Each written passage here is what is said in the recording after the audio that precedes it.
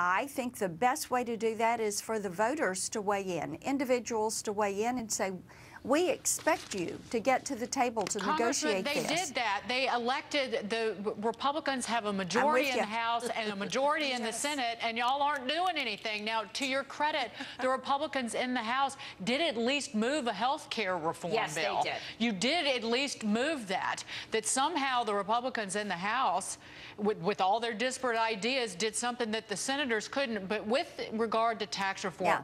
what is the biggest stumbling block? Mm-hmm. Is is the border adjustment tax off the table? Do we can we get past that and say we're not going to we're not yeah. going to use that?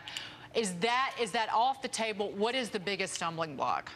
Uh, Dagen, I do think the border adjustment tax is off the table. The mm-hmm. reason for that is you have to say what is the value added there, and uh, nobody can seem to give a definitive answer mm -hmm. on a value added. Uh, when it comes to tax, timing is part of the process, making certain that a budget is there so tax mm -hmm. can go through on reconciliation. I agree with what many have said. Let's look at the way this was approached when Reagan did his tax reform and did it on a bipartisan basis. That is going to be important. The Democrats many times are not wanting to work on anything.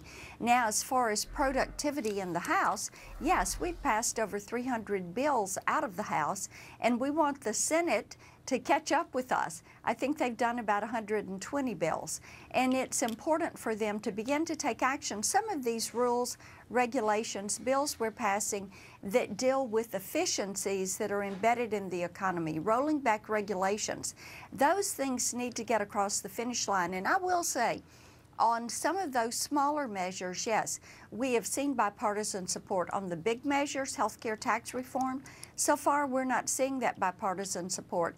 And this is where constituents need to be weighing in with their elected representatives. You're already running for next year, Congressman. That's what, the way that it sounds, is that you're asking voters to go out there and vote the Democrats out next year, when in no. fact, it, it, when in fact, if, you, if the Republicans don't get something done, all of your jobs are on I, the line. I agree with you on that but constituents weighing in with those congressional offices and saying, I would like to see something get done.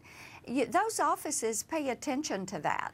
and if members are hearing from their constituents that they want them to come to the table and work for the good of the country, that has a bearing. And at this point, when you have some who are saying we're not going to come to the table, I think hearing from their constituents that there is an expectation that for the good of the country, you're going to get this done. Look at what just lowering the marginal rates would do. If people could go back and reset their withholding, uh, what is coming out of their paychecks, increase that take home pay, just being able to do that because all of our tax reform will be retroactive to January 1 yeah. of 2017. Yeah, but you that know what? Is... You're talking about cutting taxes on individual rates, which is, of course, what everybody wants you to do.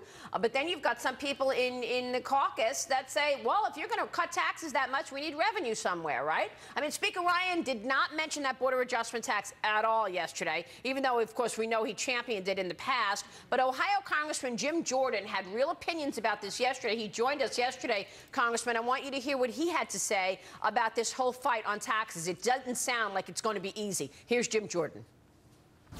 This idea that it's going to be revenue neutral, uh, we're opposed to that. Many of us conservatives, we think that's just a fancy way of saying that the tax burden stays the same. We're all for tax reform and lowering the tax burden on families and creating a tax code that's conducive to economic growth.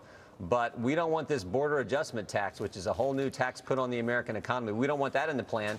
So show us the plan, then we'll pass the budget uh, if we're actually achieving the savings we need to and putting together the right kind of tax plan. Well, hmm. Not on the same page, huh, Congressman? well, I, I think that what you're doing is working out some of those finishing details. Revenue neutral people want uh, tax reform to be a net positive, not only to their personal economy, but to the nation's economy. And as Mick Mulvaney said yesterday, sometimes you're going to see that the deficit will tick up, or the CBO's estimates on the deficit are going to tick up because you're going to lead to growth in revenue and economic growth. It'd be great to have a GDP growth at 3.5%. Congressman- and then that Yeah. is going to give you more revenues. And, you know, CBO gets these numbers wrong a lot of times, and you all know how they do. They don't utilize the dynamic scoring, and they don't take into consideration that a change in policy is going to lead to a change in action, which leads to a change in revenue.